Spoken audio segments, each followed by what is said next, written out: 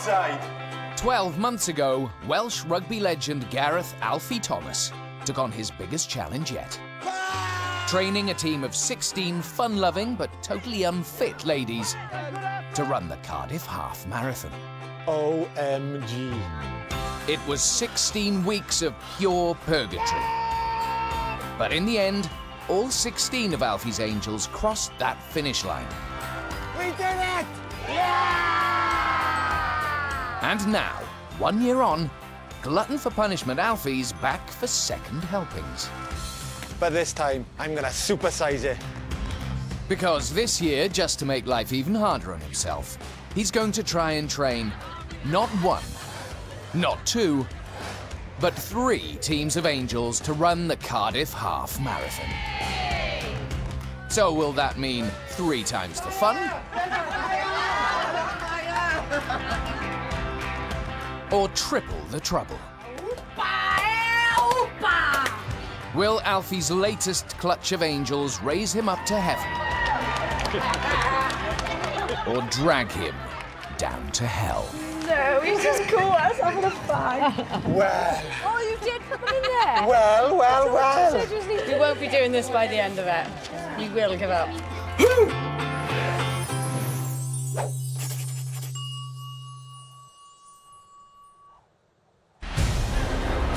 Gareth Alfie Thomas is a living legend with a life full of firsts.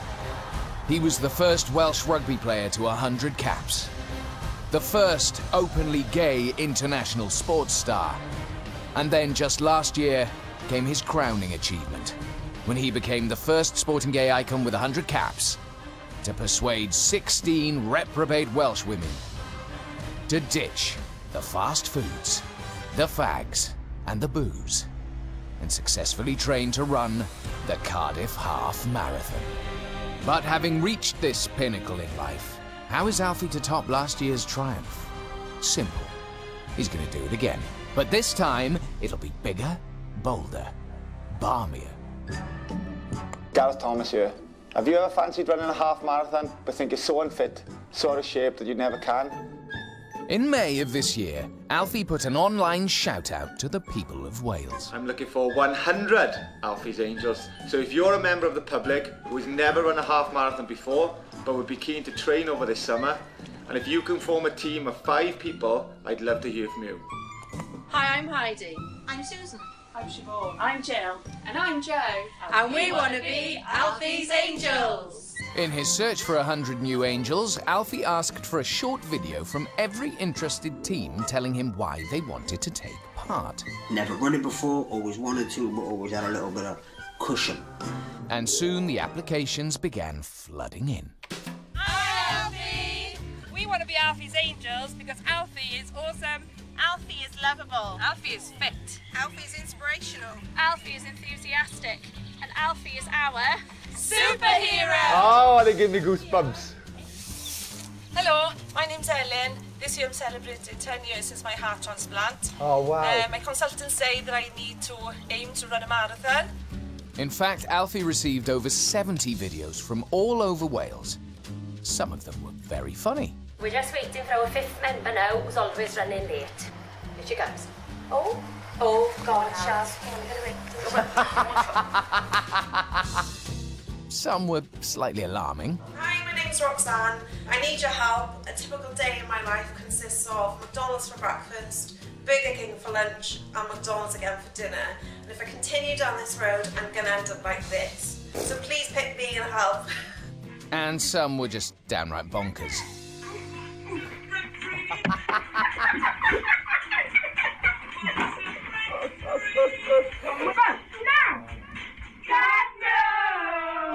Oh, oh my word, that is amazing. That is brilliant. That is truly, truly brilliant. Alfie now had a bit of a dilemma. 78 teams had applied, but he could only pick 20 of them to make up his 100 angels. Please pick us. Alfie, please pick us. Hmm, so what was he to do? Please pick us. You really won't regret it. Yeah, one, two, three, four. Can you hear me? Well, there was only one fair way out of his predicament. to draw names out of a hat. Team number seven, the Hywel Dda Hobblers. Just to make sure he wasn't cheating, it was all recorded live for the BBC Wales Facebook site. It's Team 37, the Sofa Surfers. Once the 20 chosen names had been pulled from Alfie's bobble hat, there was one very important task left. To reveal which three teams he would be following with the TV cameras, up close and personal, throughout their 16-week training program. In the end, there were three teams that stood out for Alfie, each for different reasons. My name's Joanne Morgan, I'm 34.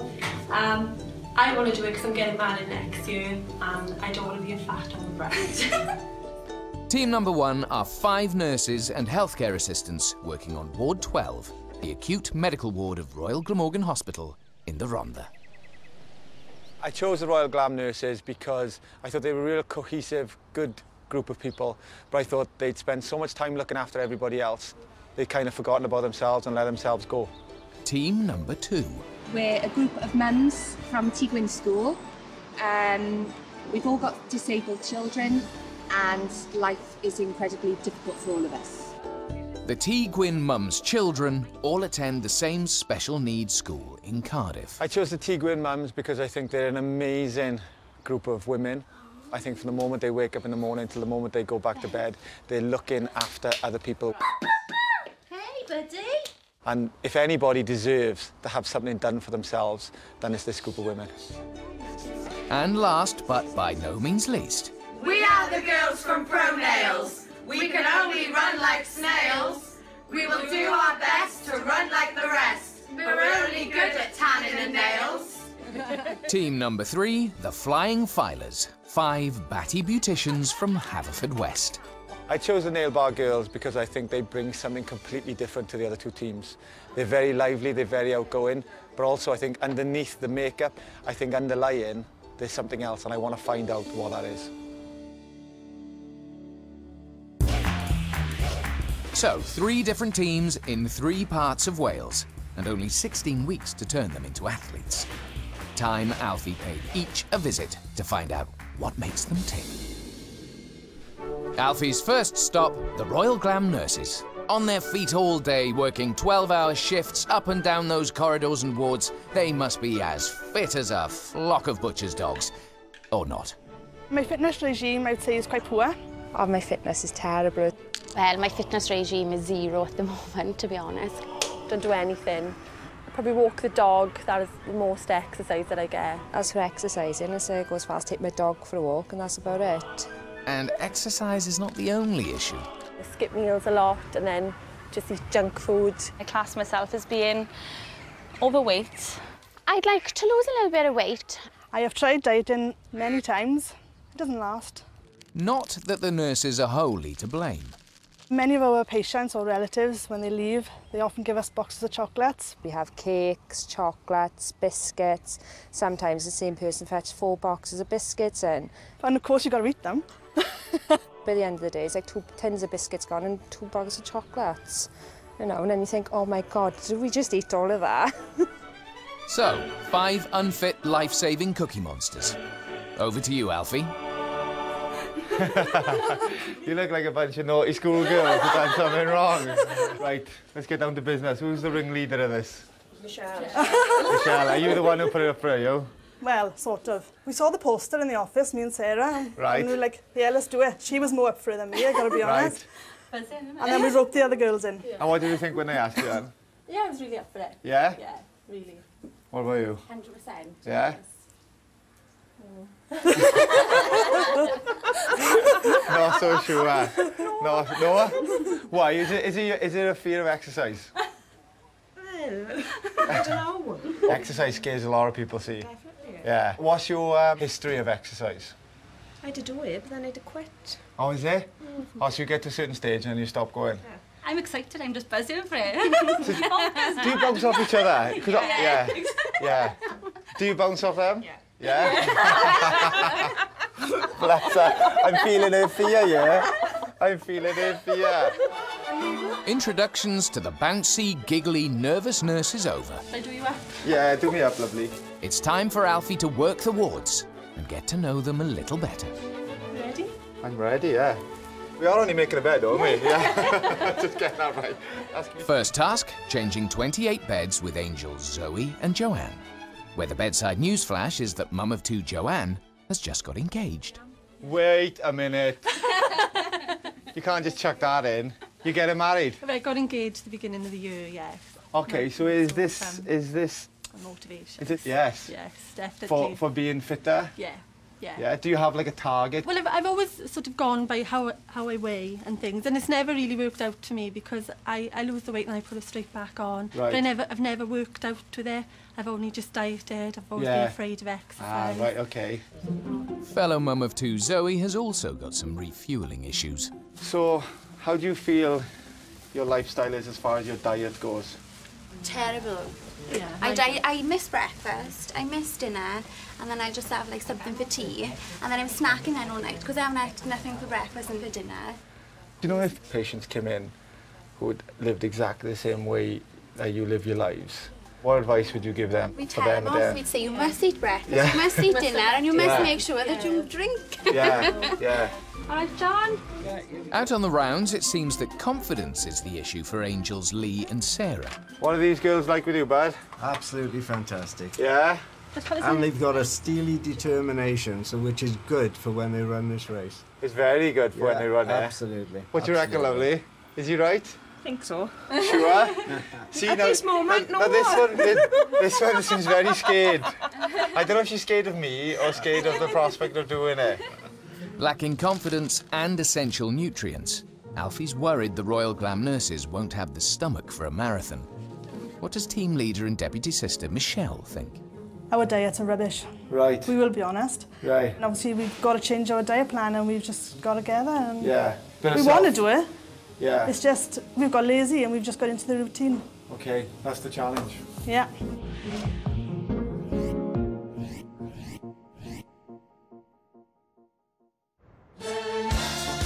Alfie's next port of call is Haverfordwest, where a nondescript industrial estate on the outskirts of town conceals the poshest parlour in Pembrokeshire. Here, the beauty therapists of the Pro Nails Beauty Salon offer everything from colourful cuticles to luscious lashes.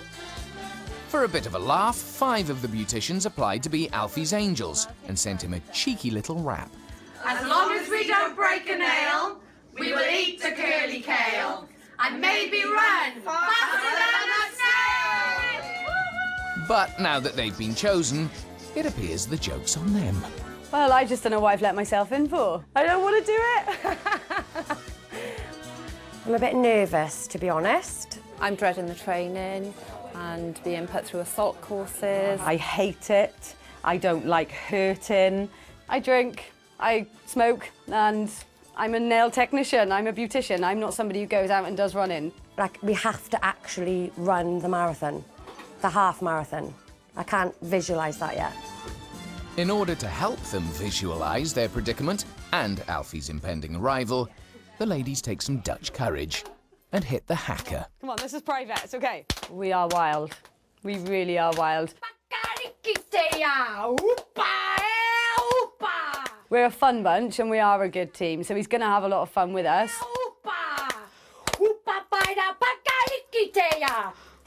We're ready to shock Alfie, I think. He thought he was going to surprise us coming in, but we're actually going to surprise him.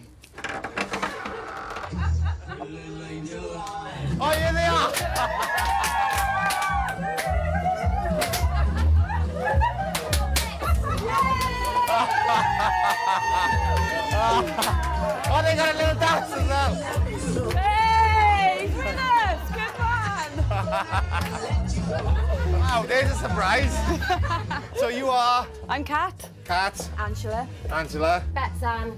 Lisa. Right, okay. So where are we at, girls? Because you all look super fit, I must admit. We are far from fit. Oh, really? Far from fit. I don't even own trainers. Oh, right, okay. Genuinely. So Lisa does no running at all. I'm knackered from just being in there. You walked it well, oh girl. You walked it well. Can I oh, just yeah. touch your face? Yes, of course. Why, what's the matter? What? It's the I most- just can't believe that you're here. All right. Weird. No, I'm you, lovely, and I'm real. I used to watch you on the telly, like you were the legend. Oh, wow. And like you're standing here, it's like I'm a bit. You're like the David Beckham Oh, of do you know the what? rugby world. Seriously, probably within like the next 20 minutes, I you'll be hate so over that. Yeah. you'll be over it. It's like, like, shut up, Alfie. I'm done now. I'm Trust me. Yeah, yeah, yeah. It's fine. Yeah, yeah, I no, drank no. about half a bottle of Pimm's before you arrived, so Oh, oh, right, yeah, just to get a couple of swigs in there. Right. Oh, because I didn't know if I could smell a smoker in you, or it was the poppers that were going off. So, how many smokers altogether in there? Three. Three. Three. Girls, do you realise this to be doing like a lifestyle change, do you think? Yeah, can I drink on weekends? Listen, everything is moderation. We haven't come to like totally Teetotal. change your life. We've come to make your life better, we hope. Do you drink? yes. Ah! What do you think? I do everything in moderation, but I train extremely hard as well. Yeah. So at the end of the marathon, we'll have a drink together. Oh, at the end of the marathon, we'll have a big, big party. That's exactly Yeah, what we want. A big Yeah. Party. But before there's any party, there's gonna have to be a heck of a lot of hefting. And are these lush ladies really ready to get their exquisitely manicured nails dirty? Salon owner Lisa's not convinced. So where are you as far as fitness-wise goes? I am like your typical couch potato. I hate fitness. I hate exercise. I hate being hurt. Um, so, So is there anything you like? no, not uh, nothing at all. The only fitness I do is shopping. And the vibe's no better with Angela. So what's your um, experience or history of keeping fit? Um, nothing really. Nothing. Running-wise, history of running? I don't like running. No? No. So if I ever need you, you're usually shopping? Yeah. With Lisa is where you go. And you holiday together, socialise together, drink together? Yeah. Is that a bit of a downfall, do you think, for the two of you? Um, probably. probably. Yeah? Yeah. Okay. So far, Alfie's got two shopaholics who'd rather drink than run. So, what have Glamour Girls Kat and Betsan got to offer? Right, girls. What do you want to get from all this? Well, for me, I definitely want to become fitter. Right. Yeah. I want to give up my smoking. So you're one of the smokers? Yeah, I am one of the smokers. Yeah, get fitter, look better, isn't it? Oh, that's good. Yeah, that's I what I want from it. Again, for me, it's to get a bit fitter. Um, I've only ran, I did the race for life, but I was drunk from the night before.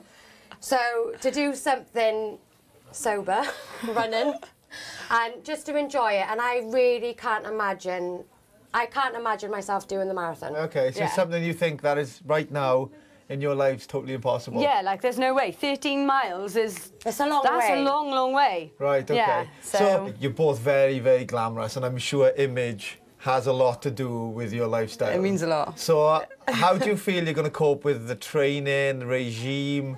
Bum bag. We've bought a bum bag. Bought a bum bag for our lip gloss and bronzer. Uh, makeup to come with Leopard us. print. We'll be spray Leopard tanned print every bum week. bag. Yeah. So when we're running, We can touch up. All right. Yeah. Oh, so, so maybe you're not trying to keep up fitness-wise. You're trying to keep. Uh, we've got a competition of Yeah, glamour yeah. going on But here. when you're fit and you're healthy, you look good, don't you? Yeah, you glow. You have a so natural it goes glow. With it, doesn't it? But you have like a natural glow. Yeah, but we're not that natural. There's lots of other fake bits, fake tan, fake nails, fake boobs, fake boobs. Yeah. So do you not feel that maybe by getting fit and maybe giving up smoking and cutting down the party and lifestyle, that the image may all of a sudden be not as relevant because you'll feel so good about yourself? Never. Really? Yeah. And what about makeup and everything when you're sweating? that's, why we we've need gotta a bum bring it. bag. Yeah. To top up. Right, okay. So, what's the verdict, Alfie? It pains me to say, but I can't see them doing it. I really can't see them doing it because it seems like they care so much about so many other things that are to me pointless and meaningless. And the things that I find really relevant and important are pointless to them. So, you know, we're going to come to a point where one of us is going to have to fall. And I'm not going to be the one to fall.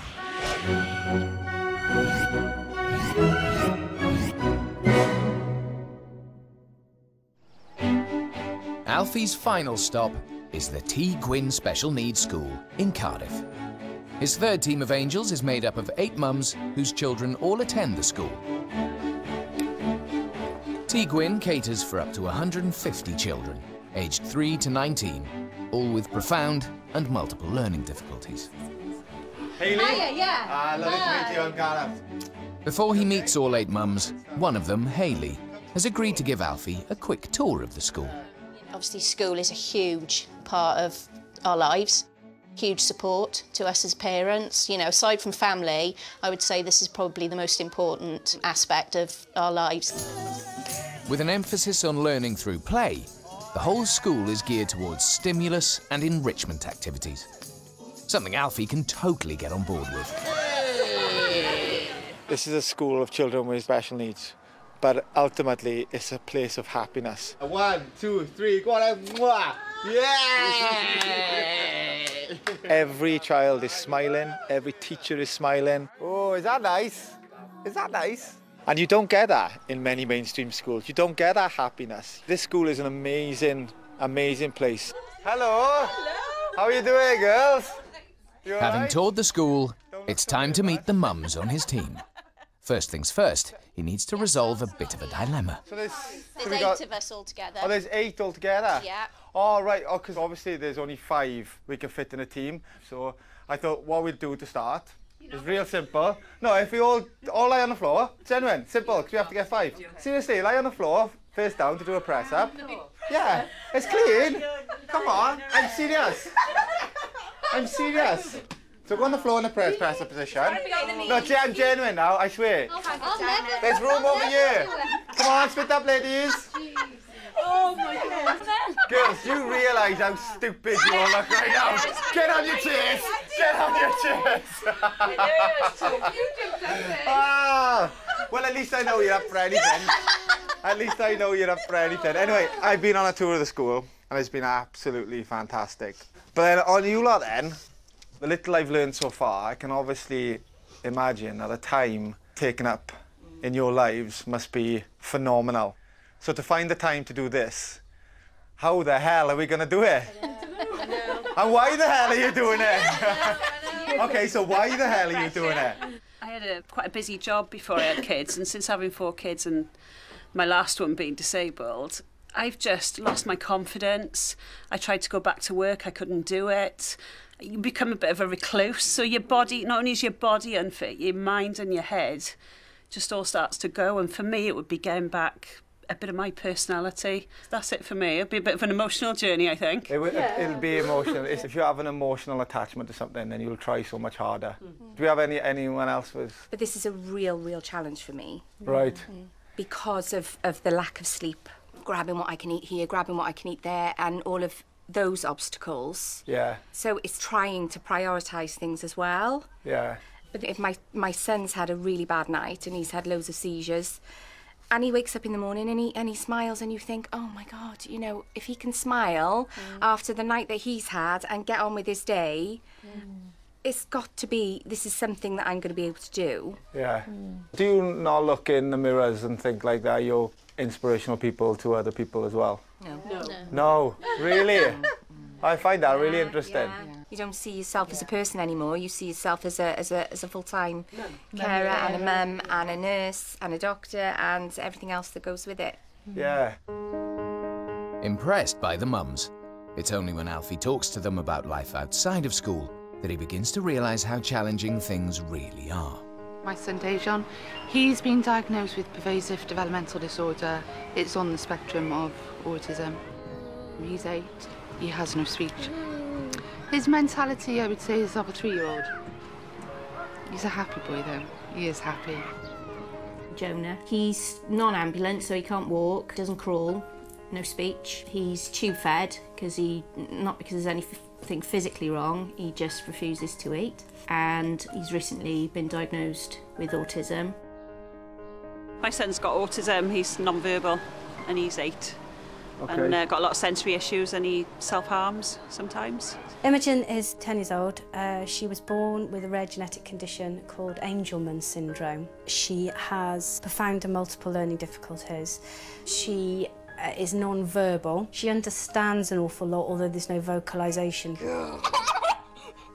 I've got five children. Theo is my youngest. He has severe autism. He self-harms, he's non-verbal, can be very, very unpredictable. He will throw himself to the floor, headbutt, pinch, bite, kick. I've got two children. My daughter's 14 and currently doing her GCSEs. And I've got an 11 year old son with special needs. He's got severe learning difficulties and epilepsy. I've got my little girl Emily, who's nine. She's autistic, but she has seizures as well. Then I've got my son, who's 11, Scott, but he's in a wheelchair. He's a lot more severe than Emily. He can't walk, talk, feed himself, toilet himself. Both of mine have autism, but they're very different. So my son's got no speech whatsoever, but he understands everything you say and he's quite chilled and calm. Okay. And then I've got Charlotte, my daughter. she's a real character and she's got speech, but you couldn't really have a conversation with her, but she can let you know what she wants. They finished? Finished. Finished. Finished. Okay. Every day is different. You don't know what is going to happen. You become isolated because we can't we can't go bowling, we can't go to the cinema, we can't go in a restaurant, we can't go even in shops with him. Did you get a worry every single day? Yeah. Are you? Yeah. Yeah. Are you always kind of on Always. edge? Yeah. Always. For a phone call or? Always. You kind of do it, you have to get on, that's just your life, you know. I really don't know how I learned to cope with it, but you do and you have to. We've got to be strong for our kids. I've just kind of got used to it, really. Um, this is my life and this is what I've got to deal with. I don't really dwell on it. It is what it is, and you just got to cope with it, really. So, given the daily trials these ladies face, why would they want to put themselves through the torture of training for a half marathon? I don't know. I think I've come to a point in my life where, well, like, one, the fitness. I want to make sure I'm fit and healthy, and two, I think that it would make put me in a better place to do better for my family if Yeah. I could do something for myself. Getting fit is actually a big thing, Yeah. isn't it? So we can stay fit and strong for longer. Yeah. Because I do worry about what happens when we get old and who's going to look after him. I think the next 16 weeks we can do, definitely, and, and even the half marathon, although it sounds ridiculous because I can't even run down the road. But Right. that I think I can do. What scares me is not sticking with it. Yeah. And this is where I get emotional because we have to. Mm. Because our kids run, they're impulsive, they lose control in public places. You have to be able to keep up with them. Yeah. We're getting older, your joints are going, your ankles are going, your feet hurt. Don't know what the future holds, can't think about that. But for now, we've got to chase them. Yeah. So we've got to be well. We've got to Yeah. be mentally well as well, you know. Look at the state of me. There's nothing wrong with the state of Oh. It's not often that I'm I'm lost for words. But I tell you what, if it's done one thing for me, it's, it's stirred my emotion. And I'd love to be able to say right now that I have no doubt that these people will be able to do it. But these women in particular, uh, not their lifestyle choice, but the life they have to live, is so much taken up by other people that for them to find the time to do something for themselves is going to be the challenge. I'm honoured that I can be a part of it, and I want to see them succeed because if anybody deserves it, this group of women do.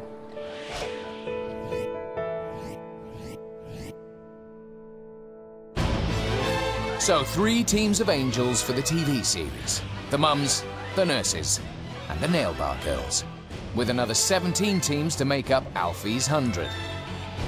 And ahead of them all, a long, hot summer of sweat, sprains, and tears. Go, go, go, go, go! Let's get it started. It's a race! Next time on Alfie's Angels. It's a race! Oh, I'm dying. It's no pain, no gain as the Angels attempt to go from cake to 5K in just 28 days.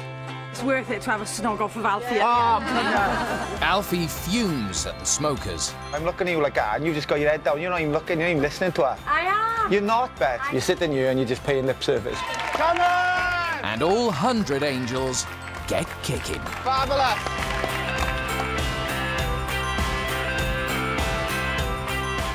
And the training continues at the same time next week here on BBC One Wales. Next tonight, a serious sporting fixture. Ladies darts, a grudge match not to be missed with the Queen Vic Pink Ladies in action, EastEnders, after the latest news headlines.